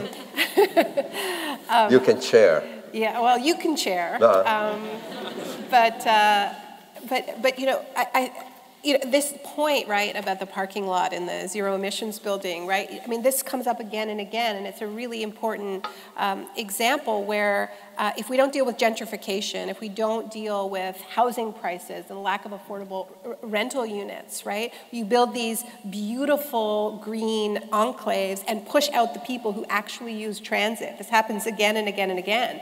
And you actually increase car use because, you know, this is the sort of hardest sell for transit. And this has been the story of the Bay Area. So if we're, we, have, you know, we, we have to engage in these intersectional debates or we'll just repeat these mistakes again and again. So, in that sense, there is potentially some promise in, in the fact that, unlike the United States, Canada has its populations concentrated in a more uh, ur- urban setting. Is, is, is, is, that, is that a pattern uh, that can be um, built upon? Better place to start from. Yeah. Um, I mean, not that, not that it's perfect. I mean, yeah. we certainly have our, our sprawl pro- problems. Um, but yeah. Well, cities have been always a big engine of transformation, according also to Jane Jacobs. So, well, they're, they're, they're, they're the place where the most amount of uh, energy is burned, or the most, and where you know, there, uh, what, what this, there's a term, you know, uh, I guess there's a term people use. They have the highest carbon footprint in a way, but they also have potentially this is a term I just read last week, the highest carbon handprint, which is the ability to conceptualize our way out of it, right? Um, and to bring those minds together. And to deliver people experiences that dispels the myth that acting to lower our emissions is some kind of cruel punishment, right? Yeah. Uh, because in fact, you know, what, what designers and urban planners know is that when you introduce these types of policies, um, you improve quality of life and the livability of cities, um, and people are happier when they're not stuck in traffic all the time, and life is better. And we need those experiences for people because they're hearing all the time these messages from the fossil fuel industry that you know if you will lose everything and we'll freeze in the dark if we you know take climate change seriously. Um, so, you know, cities as sites of, of real experience that we can build from is also incredibly important. I just want to cor- correct one thing about it, it is actually not true that um, you know half of Canada's economy comes directly from extraction. Um, it's it, where where you see the imbalance really strongly is our exports, um, and in fact, there's an inverse relationship for cities like Toronto, where we had, you know, Ontario has one of the more diversified economies in Canada. Um, and um, because of the bitumen boom in Alberta, the, the, you know, as we know, our, we had a petrodollar very inflated on par with the United States, and that had a tremendously detrimental impact on our manufacturing. So we ended up with a less diverse economy, right? So it's not as simple as, well, we, with all due respect, I didn't read the interview with John Ralston Saul. He's a very smart guy, I agree. Um, but I think sometimes we tell ourselves we're more dependent than we are, um, and we have more options. So um, we have a few more minutes. Um, I want to talk a little because we've been talking about this, but sort of focus on a little bit. Sort of. Um, so, what do you think the role of, uh, of expertise and, uh, um, and, from various sectors in uh, is in in in change? Mm. You know, because we've been, talk, we've yeah. been talking about the role of architects, and Mirko, we, we would all agree that buildings are, are only one site uh, or, or place that architects and landscape architects and designers should be focusing on to, to, to, to bring change because it's how things get to buildings, it's the larger organization of, uh, of cities and towns. Um, but you know, there are engineers, there's policy people. I mean, like what what? Uh, and, and, I'm asking this to both of you in terms of the disasters. You're you're uh, you know, th- there there was there was technical expertise that convinced everyone to do most of these things, right? Um, uh, well, it's always uh, overconfidence. Yeah. In uh, you know, in. Uh, but uh, let's put it in this way: uh, there is a kind of responsibility, apart of the disciplinary role that we could have, or, or the role that we have. There is a kind of responsibility that we have individually and we have as institution to address a certain kind of issues in certain moment. Uh, let's say that uh, I don't think that the role uh, of an institution today is uh, to educate in name of 19th century values the, the, uh, the public or the students and so on.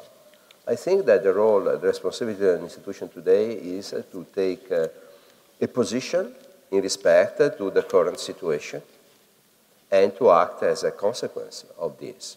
It's a kind of uh, intellectual and moral responsibility that uh, not only individual uh, people, people they have, but uh, uh, institution they have.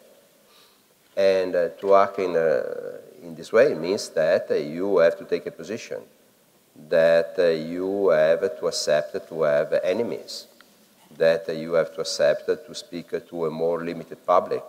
You know, I think that that in the moment that we are today is inevitable uh, to take this kind of position responsibility and to stand for something. Mm-hmm. And, uh, and to I talk think, to people outside our field. Eh? Uh, to, to, to have a debate with people outside the field. Yes, right? of course, also. But I say that uh, it's really uh, crucial to have this kind of position for a an institution like us, for a university, uh, you know, it's not possible not to do that. Uh, because I really think that the solution is not only coming from abstract political decision. What is a political decision? Where a political decision is coming from? Uh, uh, um, you know, why the Athabasca bomb didn't uh, explode? Because there was a general uh, reaction in the public towards certain kind of things not because the expert demonstrated that it was dangerous. So I feel that um, this is, in a certain way, uh, building a certain kind of discourse, a different culture, uh, is crucial for all of us uh, uh, in this moment to, to, sustain this kind of decision. Otherwise, we arrive to the point uh, that uh, Suzuki has arrived and said that envir environmentalism has failed. We got a lot of local victories and we lost uh, the big battle.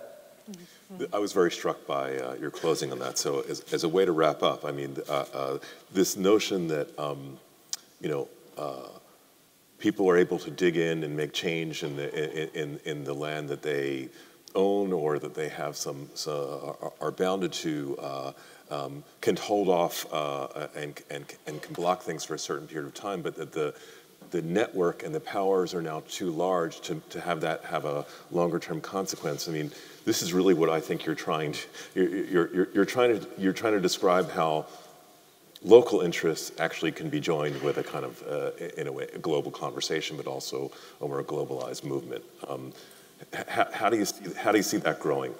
But yeah, so I think, I think that's true, but also, as Mirko's alluding to, that, that, that these local victories, we're, we're, we're losing them now. These, you know, I, am heading, you know, we were talking about Australia yeah. before.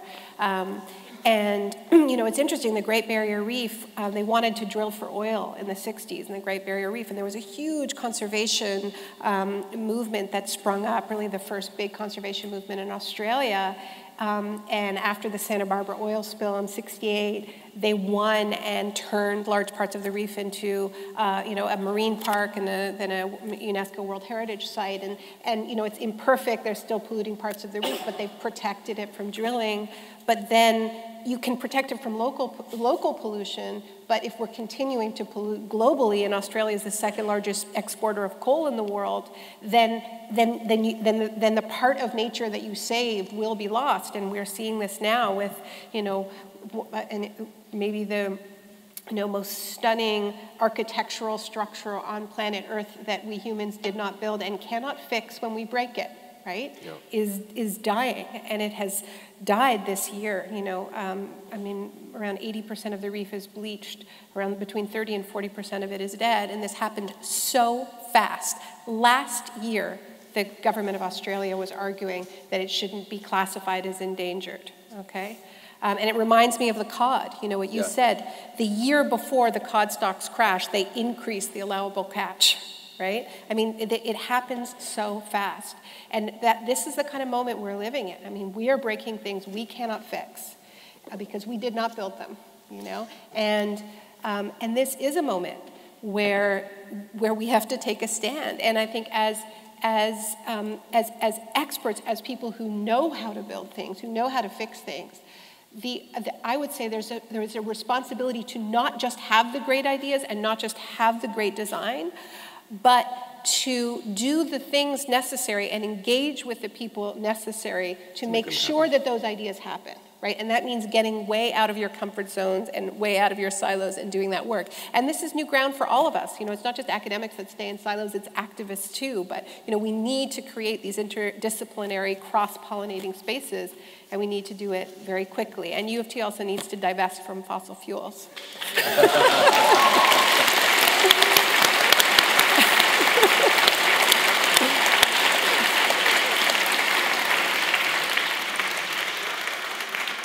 So, one more question as, as a close, because that would be a great place to close. Uh, one more question as a close, and it has to do with how to overcome a sense of fatalism. Uh, because when we when we heard you, when you when you present all of those disasters, you know, uh, I'm often presented. Uh, my my children learn about climate change in in, in school, and uh, fairly fairly often they, they ask me questions, you know, is it going to be too hot? They, they present these questions, or, uh, which really, in their minds, it's going to, it's going to happen, right? Uh, and, uh, and, and there is a kind of deep anxiety uh, uh, about this. And I, uh, I find myself sort of appeasing them a little bit and saying, well, you know, it'll, it, it, you know, it, it, it's not quite as going to be okay, but we're, we're working on it, right? The, the, the, there's this issue uh, uh, where if you're if you're overwhelmed with this with with uh, with the shock and the disasters and the and the, the kind of fatalism, where it's a, a, disincentive actually to to activism and and and, and to uh, fighting for change. How how do you think we overcome that? You are the expert. I think it's, this is a serious, this is a, you know, where people just say, well, you know, um, you know, we went from talking about sustainability to resilience to basically Yeah. how do we fortify ourselves because it's yeah. coming anyway, right? Well, look, I mean, there is, there is, a, there is, it is, it is coming anyway, Yeah, right? And it, yeah. and it is already here. Um, you, know, you think about the Fort Mac fires, you think about the flooding in Louisiana, the Great Barrier Reef, um, you know, the, the glaciers that are the water sources for major cities um, like La Paz. I mean, it's happening, um, and it's fueling conflict um, in a very real way.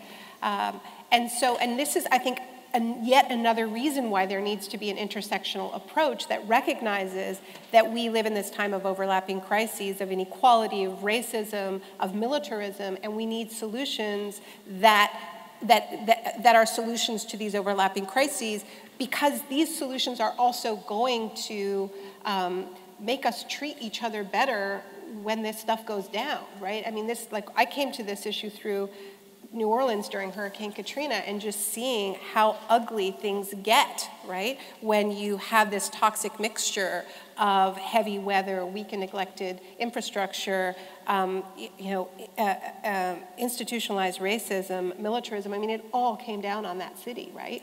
Um, so, you know, this is this is why, uh, you know, I don't think I think that fatalism is um, you know, it's, it's, it's, it comes from a really privileged place, honestly. I mean, people are, I would say that the cure for it is get out of your office, get out of your comfort zone, you know, go to Standing Rock, you know, um, and connect with some of the people, um, you know, who are fighting for their water, fighting for their land, fighting for their food sources. Know this isn't abstract. Um, and every, you know, I mean, even if we make it less bad than it was going to be, that is still worth doing right? And this idea that we're just gonna, you know, um, that we can just sit back and kind of, you know, if, if we aren't sure we're gonna win, we're not even gonna fight, right? Um, that's a luxury that most people on this planet can't afford. That's a great place to end.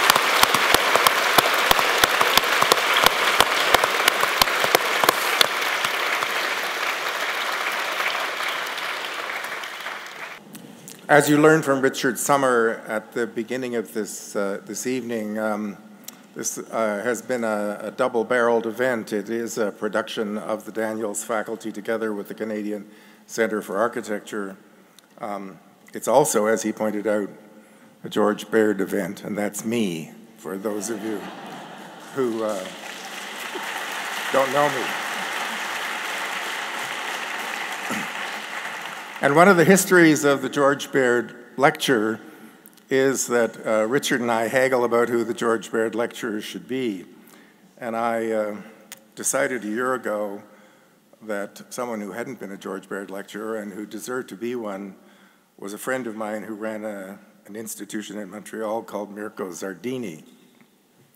I've known Mirko for a couple of decades since he and I taught together at Harvard. And in, in our time together there, I found him an engaging and uh, fascinating, if somewhat inscrutable, architectural intelligence. Um, and it's really only after I left Harvard to come back to become the dean at the Daniels faculty that I fully came to appreciate his significance in the world of architecture. Um, his and my mutual Italian friends tell me that early in his career, he was uh, strongly fascinated by the work of uh, an Italian architect of no mean political convictions called Giancarlo de Carlo. Uh, these same Italian friends say that for a while in his mature career, Mirko tried to suppress this information, but I actually see it as a promising start. And now that the world is rediscovering De Carlo, it can even be seen that his early enthusiasm was more insightful than not. Then, of course, I learned that he had been one of the senior editors of a magazine called Lotus International uh, during the um, decade and a half period when it was arguably the most influential, not most influential, but the most consequential architecture journal, uh, certainly in Europe and to some extent in the world. And then, to my considerable surprise, my Italian friend became the director of the Canadian Center for Architecture. Um, and he has by now outlasted all the previous directors of the Canadian Center for Architecture combined, except for the founding director herself, Phyllis Lambert. Um, and uh, Richard Sommer talked about uh, Mirko's activities at the CCA, um, and they are indeed estimable. I would just add two or three more to that. His Casablanca Chandigarh exhibition on housing, absolutely original uh, exhibition, put entirely put together by the Canadian Centre for Architecture staff. Uh, the extraordinary exhibition on the Portuguese housing programs, which immediately succeeded the collapse of the Salazar dictatorship. Um, we have what comes after the environment coming up. We can imagine how provocative that will be. He has managed to acquire the Alvaro Siza archive for the archives of the Canadian Centre for Architecture and will shortly be acquiring the personal papers of Kenneth Frampton. This is a remarkable accomplishment. So I'm very happy to have Mirko uh, present for a George Baird event, and I thank him for being here. I, uh, along the way to my suggesting Mirko and the event actually happening tonight, I learned that Mirko had suggested that wearing his Canadian Center for Architecture hat, that it would be nice if Naomi Klein were part of the event. And I thought, whoa, that's an interesting idea. Um, I didn't even know Naomi Klein. I knew about Naomi Klein, uh, but I, I, only met her an hour ago. Um, but I have to say, I could not be happier that uh, she is also a part of a George Baird event.